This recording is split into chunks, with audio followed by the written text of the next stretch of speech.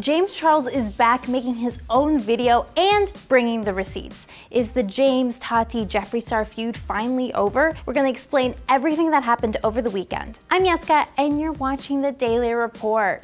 Is the tea done? I'm sick and tired of tea. No, I'm not. Oh, you thought this James Charles drama was over? Um, no. No, it's not on Saturday, a week after Tati uploaded her now deleted Bye Sister video, which took the internet by storm, James uploaded his side of the story with a video called No More Lies. In the 41 minute video, James goes through issue by issue in Tati's video to address and debunk some of the lies he believes she told. He starts the video by thanking Tati and Jeffree for taking some of the responsibility for blowing this whole thing up and making it public. While both had mentioned moving on, James feels like he needs to defend himself against certain allegations. First things first, those vitamins. James confirms that Nikita Dragun had attempted to clarify on Twitter last week that while at Coachella, he was being mobbed in the VIP section. So he reached out to Nikita for the Sugar Bear contact in attempt to get some artist passes. It was a last-ditch effort to have a good time at Coachella without any Instagram model drama like he experienced the first weekend of the festival. He also states that he did give Tati a heads up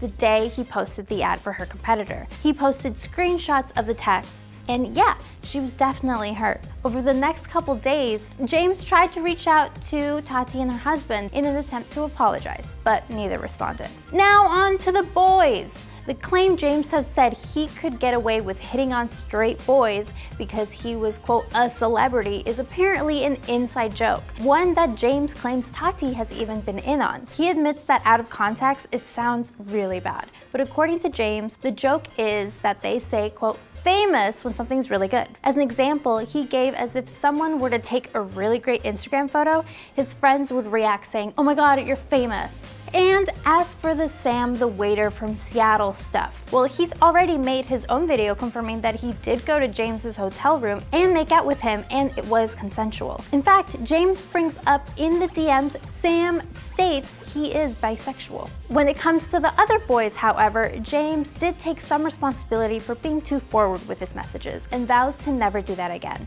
He also stated he reached out to every boy who came forward and apologized for making them feel uncomfortable. And last but certainly not least, there was Jeffree Star. Jeffree has made some allegations against James about trapping Sam in his hotel room, which James has debunked. But he also made some claims about a boy named Zach. We learn that Zach is Jeffree's boyfriend's brother, someone who Jeffree had suggested James started talking to despite identifying as straight. And James even showed a clip from his own video of Jeffree suggesting this. James claims the two had spoken via Snapchat for a short amount of time, but he stopped the conversation when it was clear Zach was not interested. Towards the end of the video, James mentions both Jeffree and Tati had reached out through a mutual YouTube threat to sit down and talk it out.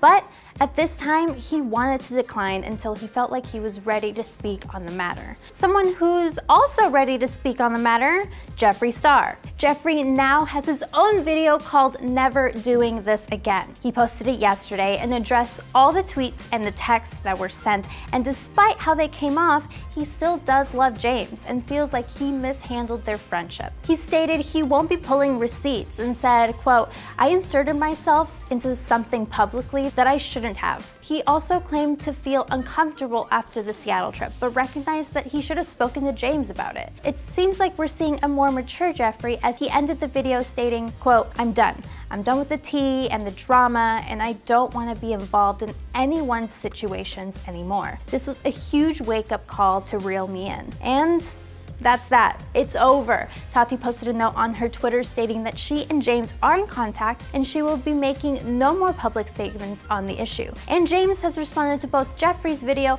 and Tati's note by tweeting, quote, Thank you at Jeffree Star and Glam Life Guru for your sentiments. I am on board to move on. Will not speak about this further, but do hope to speak in the future when we are all ready. This week has been awful for all of us, and I ask that the community focuses on positively moving forward And now we want to hear from you guys. Are you guys ready for this drama to finally be over? Or do you think some more things are gonna happen? Let us know in the comment section down below. And as always, thank you guys so much for subscribing to this brand new Daily Report channel. It's where me and Kelsey live now. So if you wanna make sure to get filled in on all the great stuff, this is our home. I'm Jessica, and oh my lord, that's a lot. It's a lot of stuff.